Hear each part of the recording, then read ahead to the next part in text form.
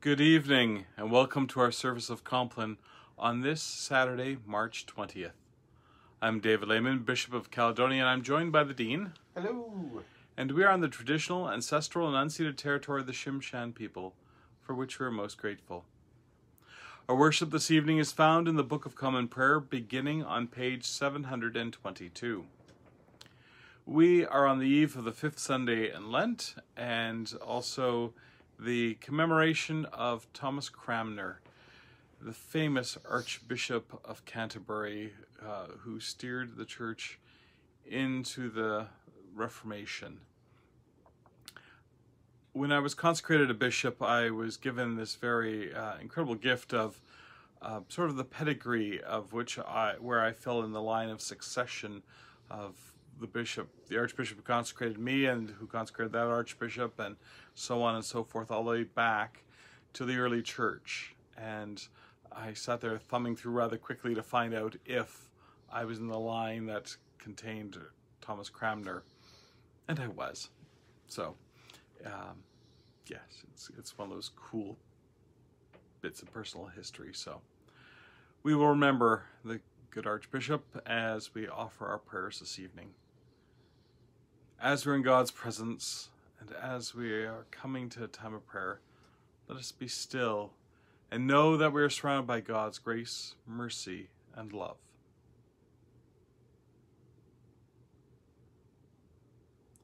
The Lord Almighty grant us a quiet night and a perfect end.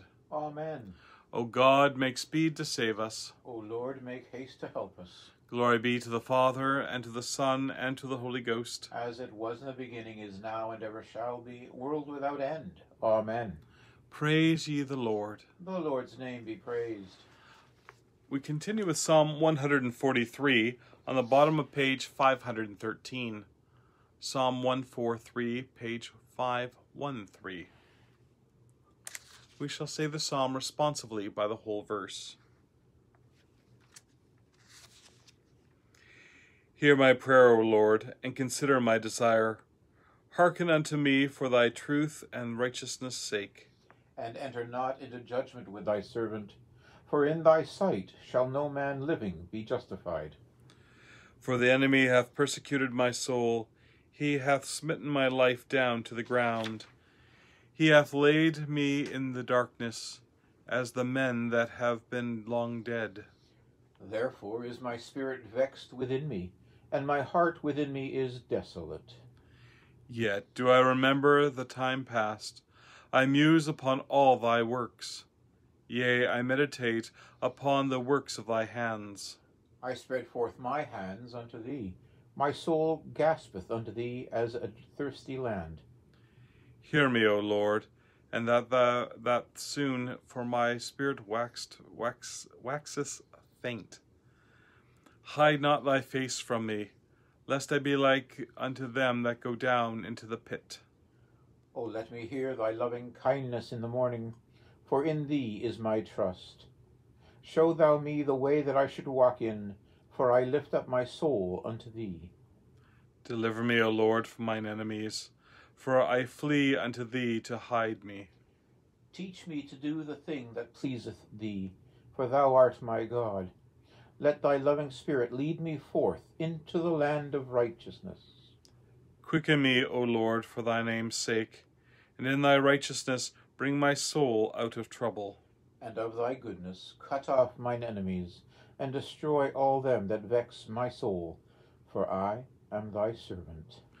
Glory be to the Father, and to the Son, and to the Holy Ghost. As it was in the beginning, is now, and ever shall be, world without end. Amen.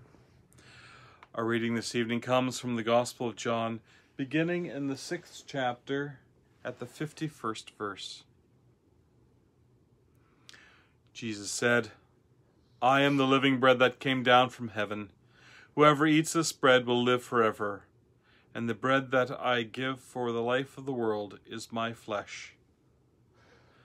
The people disputed among themselves, saying, How can this man give us his flesh to eat? So Jesus said to them, Very truly I tell you, unless you eat the flesh of the Son of Man and drink his blood, you have no life in you. Those who eat my flesh and drink my blood have eternal life, and I will raise them up on the last day. For my flesh is true food, and my blood is true drink. Those who eat my flesh and drink my blood abide in me, and I in them. Just as the living Father sent me, and I live because of the Father, so whoever eats me will live because of me. This is the bread that came down from heaven, not like that your ancestors ate and died, but the one who eats this bread will live forever. The word of the Lord. Thanks be to God. Our worship continues on page 723. Into thy hands, O Lord, I commend my spirit. Into thy hands, O Lord, I commend my spirit. For thou hast redeemed me, O Lord, thou God of truth. I commend my spirit. Glory be to the Father, and to the Son, and to the Holy Ghost. Into thy hands, O Lord, I commend my spirit. We say together the, the Te Lucis Ante Terminum.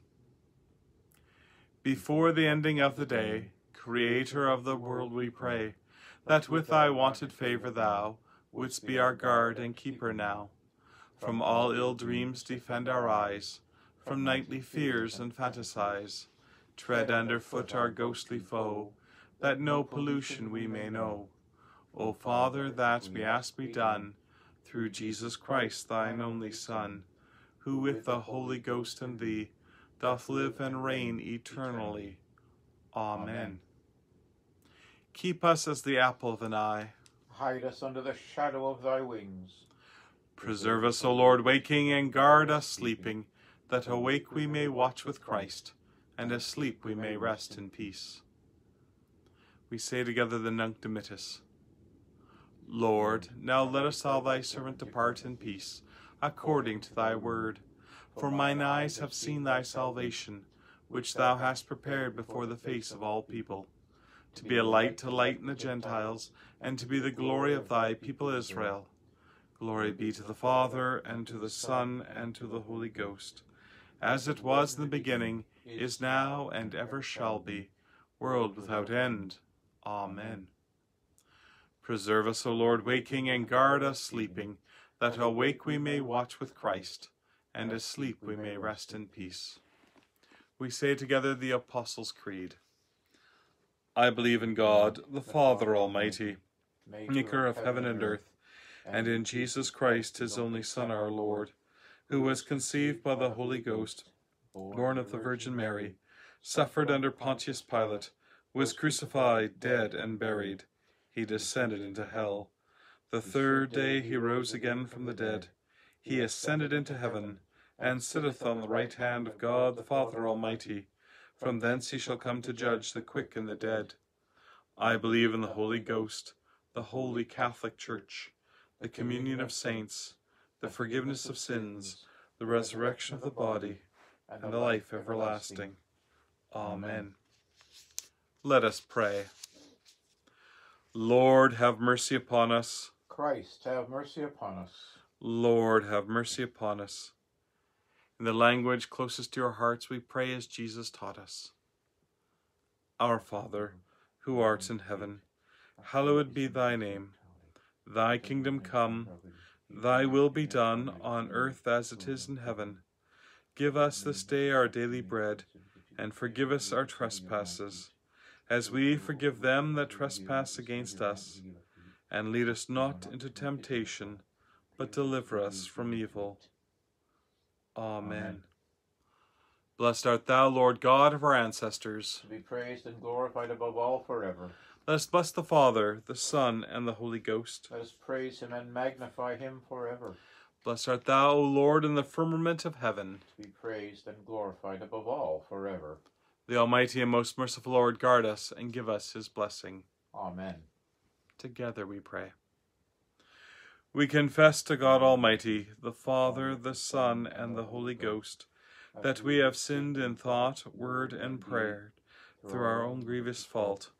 Wherefore we pray God to have mercy upon us. Almighty God, have mercy upon us. Forgive us all our sins and deliver us from all evil. Confirm and strengthen us in all goodness, and bring us to life everlasting through Jesus Christ our Lord. Amen. May the Almighty and merciful Lord grant unto you pardon and remission of all your sins, time for amendment of life, and the grace and comfort of the Holy Spirit. Amen. Wilt thou not turn again and quicken us? That thy people may rejoice in thee, O Lord, show thy mercy upon us. and grant us thy salvation. Vouchsafe, O Lord, to keep us this night without sin. O Lord, have mercy upon us, have mercy upon us, O Lord, hear our prayer. and let our cry come unto thee. And the collect for the eve of Thomas Cranmer. O God, you endued endued your servant Thomas Cranmer with zeal for the purity of your church, and gave him singular ability in reforming the common prayer of your people. Grant us such courage in our witness to your grace that in our families, communities, and nation we may become the leaven of your justice and truth through Jesus Christ our Lord, who lives and reigns with you in the Holy Spirit, one God, now and forever. Amen. Lighten our darkness, we beseech thee, O Lord, and by thy great mercy defend us from all perils and dangers of this night, for the love of thy Son, our Saviour, Jesus Christ. Amen. Amen.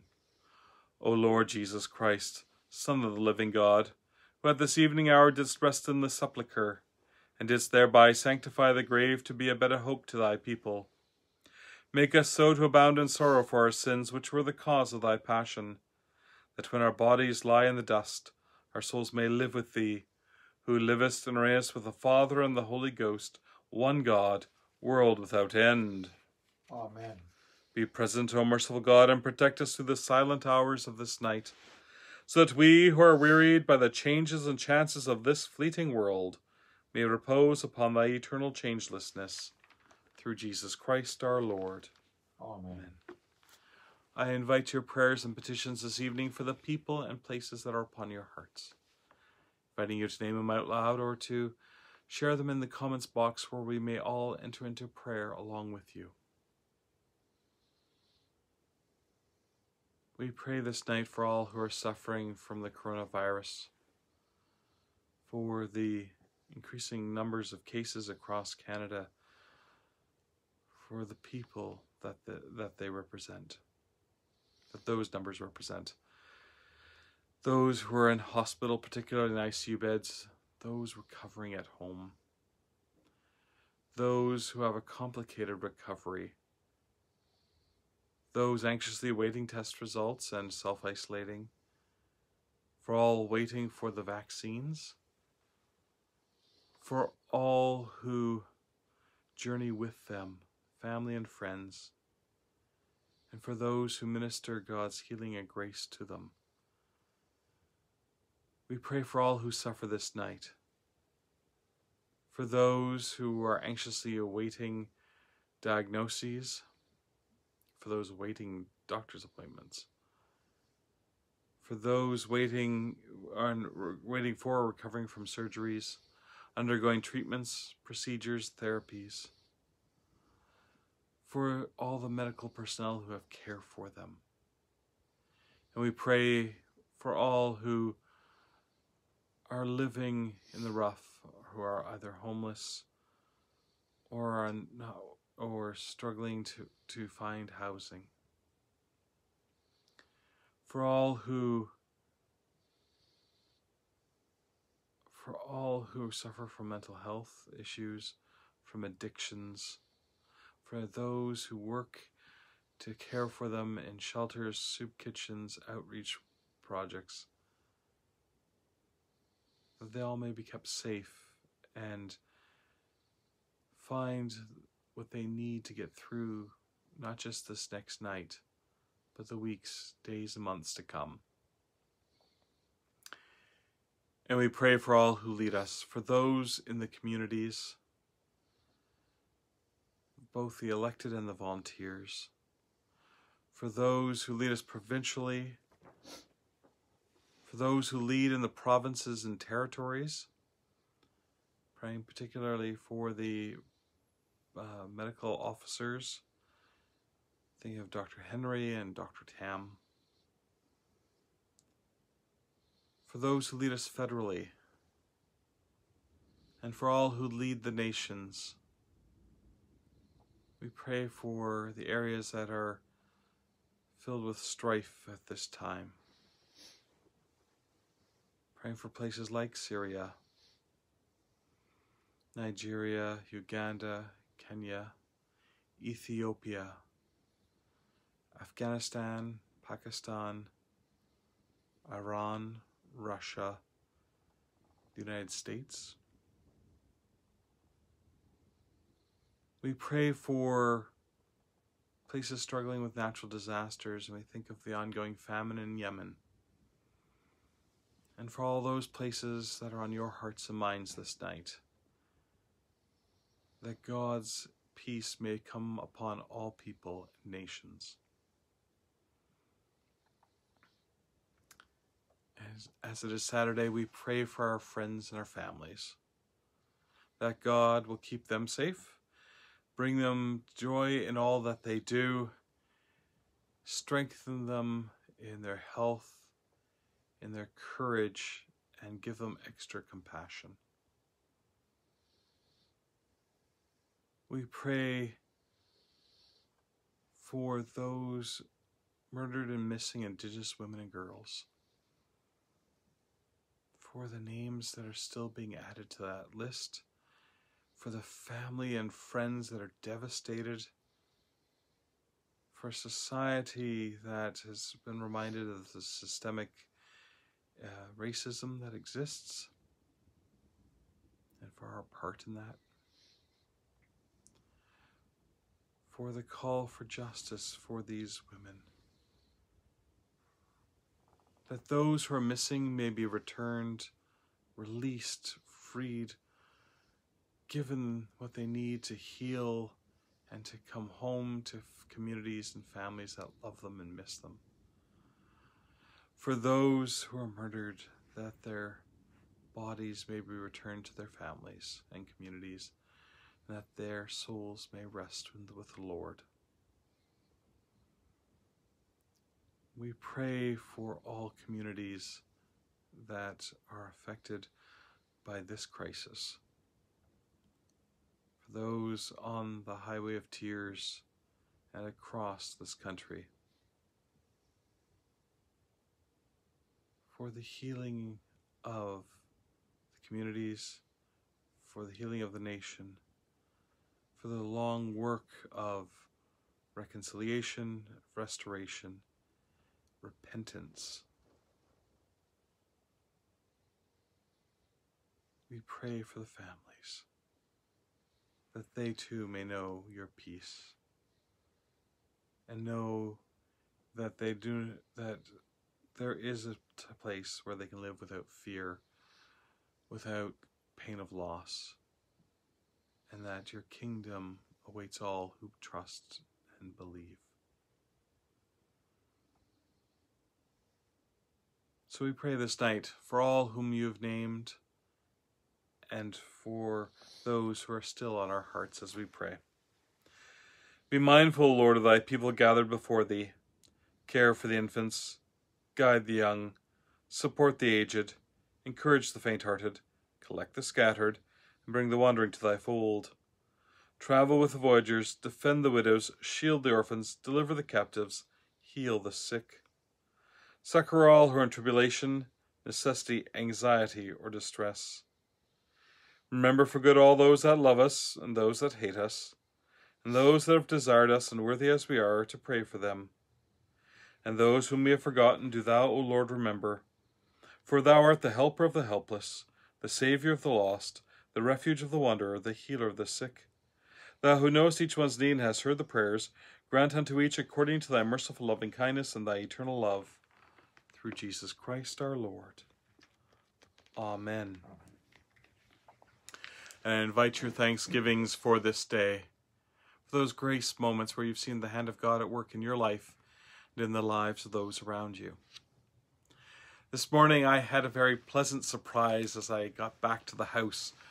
I, am not sure who was more startled at first, the deer or myself, but we had a lovely conversation. Well, I spoke, they nibbled, and um, and I think I've come to the understanding that planting anything might be a bad idea.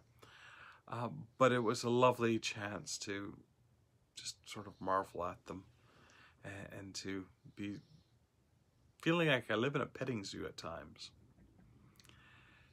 And I am thankful for Archbishop Lynn as she celebrates her birthday and for uh, this chance to gather tonight as and have our holy hug uh, and for a place that is warm and dry considering the storm that's raging outside right now. And with your thanksgivings, we pray. O most merciful Father, we humbly thank Thee for all Thy gifts so freely bestowed upon us, for life and health and safety, for power to work and leisure to rest, for all that is beautiful in creation and in the lives of men, women, and children. We praise and magnify Thy holy name.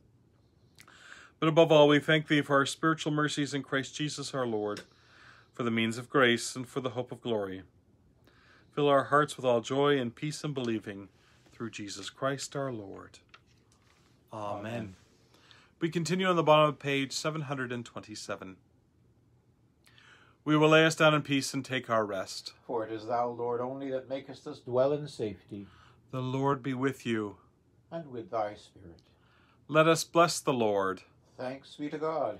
The Almighty and merciful Lord, the Father, the Son, and the Holy Ghost bless, preserve, and keep you this night, indeed forevermore. Amen. Amen. Thank you for joining us for our holy hug, and may you have a most restful night.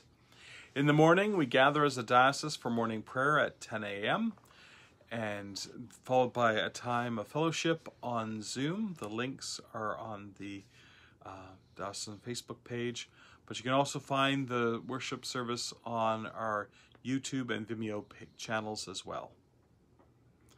Tomorrow evening at 9 p.m., God willing, I'll be back for another service of Compline. Until then, rest well. Nighty night. I'm a hoop.